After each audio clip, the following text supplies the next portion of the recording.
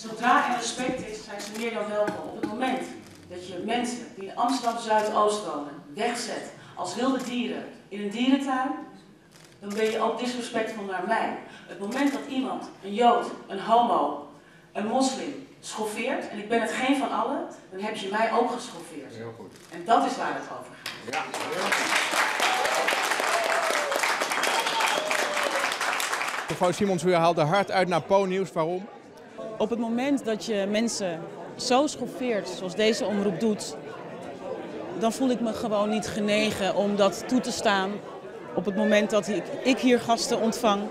En eh, eh, dan voel ik me verantwoordelijk voor deze gasten. En dan denk ik dat, eh, dat zij beter buiten kunnen blijven.